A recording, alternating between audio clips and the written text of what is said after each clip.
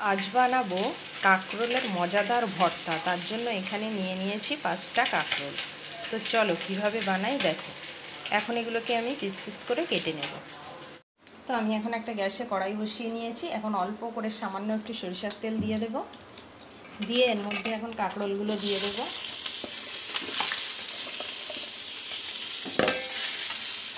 দিয়ে এর মধ্যে সামান্য একটু হলুদ দেব। আর একেবারে সামান্য একটু লবণ দেব। দিয়ে কাঁকরোলটাকে সুন্দর করে ভেজে নেব।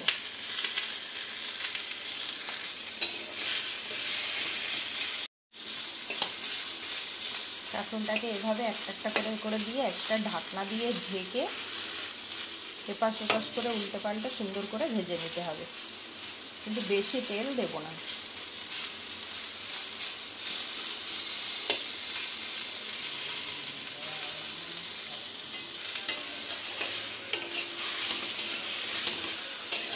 দেখো, এখন একটা ঢাকনা দিয়ে ঢেকে আমি কিন্তু কাঁকরোলটাকে ভালো করে ভেজে নেব।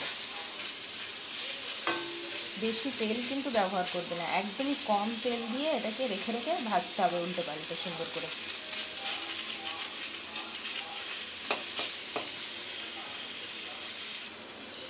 আমার কাঁকরোলটা কিন্তু প্রায় সিদ্ধ হয়ে এসছে। আবারও একটু ঢেকে দু মিনিট ভেজে নেব। তেমন খুব লাল করে ভাজা হবে না। জাস্ট সিদ্ধটা হয়ে যাবে আর কি। গ্যাসের আঁচটা কমিয়ে আর ঢাকনা দিয়ে একটা ঢেকে একটু সময় ভেজে নিলেই হয়ে যাবে। জল দিয়ে সিদ্ধ করলে কিন্তু সেই টেস্টটা হবে না অত সুন্দর। সেই জন্য আমি এরকম হালকা করে একটু ভেজে নিচ্ছি। কাঁকরোলটা কিন্তু ভাজা ভাজা হয়ে গেছে। ও ভালো করে সিদ্ধও হয়ে গেছে। এখন এটা আমি নামিয়ে নেব। তো এখন এই কড়াইয়ের মধ্যেই সামান্য একটু সরিষার তেল দিয়ে দেব।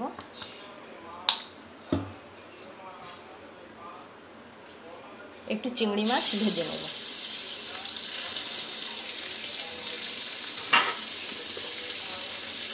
সামান্য, একদম সামান্য একটু লবণ দেব, একটু হলুদ দেব।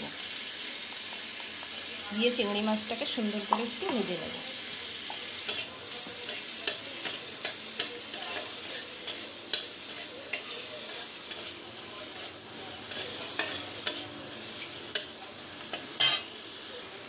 তো দেখো চিংড়ি মাছটাও সুন্দর করে ভাজা হয়ে গেছে, এখন এটাও আমি নামিয়ে নেব। তো দেখো, এখন আমি একটা বাটি নিয়ে নিয়েছি, তার মধ্যে এবার কাঁকরোলটা নিয়ে নেব।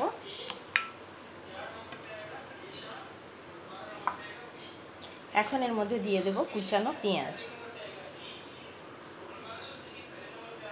আর দেব কুচানো কাঁচা লঙ্কা।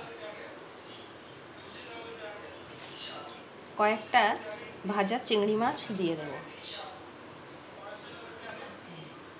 আর দেব পরিমাণ মতো লবণ। ভাজার সময় আমি অল্প লবণ দিয়েছিলাম, তাই সেই পরিমাণটা বুঝে লবণটা দিতে হবে। আর দেব কাঁচা সরিষার তেল। তেলটা একটু সামান্য বেশি পরিমাণে দিতে হবে, দিয়ে সুন্দর করে মেখে নিতে হবে এখন।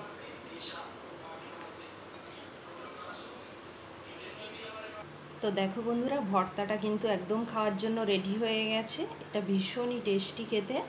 তো রেসিপিটি যদি ভালো লাগে, অবশ্যই লাইক করো কমেন্ট করো, আর আমার চ্যানেলটি সাবস্ক্রাইব করে আমার সাথে থেকো